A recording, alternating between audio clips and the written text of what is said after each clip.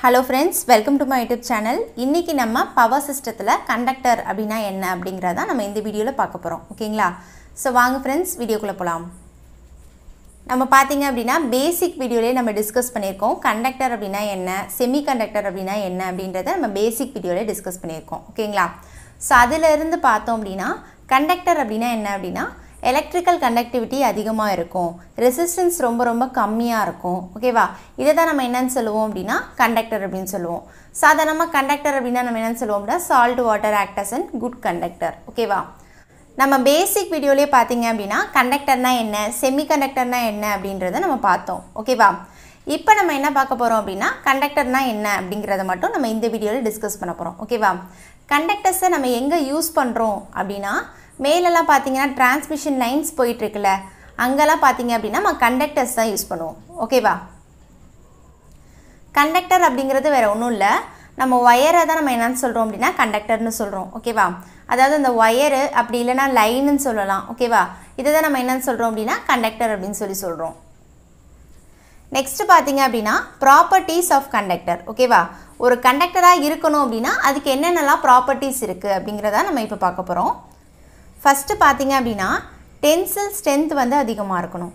ஓகேவா tensile strength அப்படின்னா வேறு ஒன்றும் இல்லை. அதாவது கண்டக்டர் வந்து பார்த்தீங்க அப்படின்னா காற்றுல வந்து ஆடும் தெரியுமா? அது ஃப்ளெக்சிபிளாக இருந்தால் தான் நமக்கு என்ன ஆகும்னா அந்த ஆசிலேஷன்ஸ்லாம் வரும். இது என்ன பண்ணும் அப்படின்னா சேகை க்ரியேட் பண்ணும். ஓகேவா சேகனா ஒன்றும் இல்லை. எக்ஸாம்பிள் வந்து இப்போ ரெண்டு ரெண்டு சைடு நம்ம கொடி கயிறு கட்டியிருக்கோம்னு வச்சுக்கோங்களேன். நடுவில் நம்ம கொடி போட போட என்னவாகும்? கொடியில் துணி போட போட என்னவாகும் அப்படின்னா ஒரு பெண்டு மாதிரி க்ரியேட் ஆகும்ல. அதே மாதிரி கண்டக்டர்ஸ்க்கு நடுவில் இந்த காற்று இந்த காற்றெல்லாம் அடிக்கும் போது பார்த்தீங்க அப்படின்னா இந்த பெண்டு மாதிரி கிரியேட் ஆகக்கூடாது. ஓகேவா அப்படி கிரியேட் ஆனிச்சு அப்படின்னா இன்டர்ஃபரன்ஸ் கிரியேட் ஆக சான்சஸ் இருக்குது ஓகேவா அதனால பொதுவாக ஒரு கண்டக்டரை பொறுத்த வரைக்கும் இந்த சேகு வந்து கிரியேட் ஆகக்கூடாது. சேகுக்கு அப்படின்னு சொல்லிட்டு தனியாக கேல்குலேஷன்ஸ்லாம் இருக்குது ஓகேங்களா அப்போ டென்சில் ஸ்ட்ரென்த் வந்து அதிகமாக இருக்கணும். இழுவிசைன்னு சொல்லுவாங்கள்ல அது வந்து அதிகமாக இருக்கணும். அது அதிகமாக இருந்துச்சு அப்படின்னா நமக்கு சேகு வந்து கிரியேட் ஆகாது. ஓகேவா நெக்ஸ்ட்டு ஒரு கண்டக்டரை பொறுத்த வரைக்கும் வெயிட் வந்து ரொம்ப கம்மியாக இருக்கணும். ஓகேவா ஏன்னா வெயிட்டை பொறுத்தும் நமக்கு சேக் இருக்குது ஓகேவா சேகுன்றது நான் ஆல்ரெடி சொன்னதான் வெயிட் அதிகமாக இருந்துச்சு அப்படின்னா என்னவாகும்? கீழே அப்படியே என்னவாகும்? தளரும். அப்போ தளரும் போது நமக்கு என்னவாகும்னா இன்டர்ஃபரன்ஸ் க்ரியேட் ஆக சான்சஸ் இருக்குது ஓகேவா நெக்ஸ்ட்டு பார்த்தீங்க அப்படின்னா காஸ்ட் வந்து கம்மியாக இருக்கணும். ஏன்னா நம்ம யூஸ் பண்ணுற கண்டக்டர்ஸ் எல்லாமே ரொம்ப லாங்காக லாங்காக ஒரு குறிப்பிட்ட ரேஞ்சுக்கு நம்ம என்ன பண்ணுறோம் அப்படின்னா எடுத்துகிட்டு வரோம் அப்போ ஒவ்வொரு இடத்துக்கும் பார்த்தீங்கன்னா காஸ்ட் வந்து நமக்கு கம்மியாக இருக்கணும். அப்படின்னா தான் நம்ம லாங் டிஸ்டன்ஸ்க்கு அதை வந்து எடுத்துகிட்டு வர முடியும். ஓகேவா நெக்ஸ்ட்டு அதே மாதிரி பார்த்தீங்கன்னா எலக்ட்ரிக்கல் கண்டக்டிவிட்டி அதிகமாக இருக்கணும். எலக்ட்ரிக்கல் கண்டக்டிவிட்டி அதிகமாக இருக்கணும்னா அதோட ரெசிஸ்டன்ஸ் எப்படி இருக்கணும்? ரொம்ப கம்மியாக இருக்கணும். ஓகேவா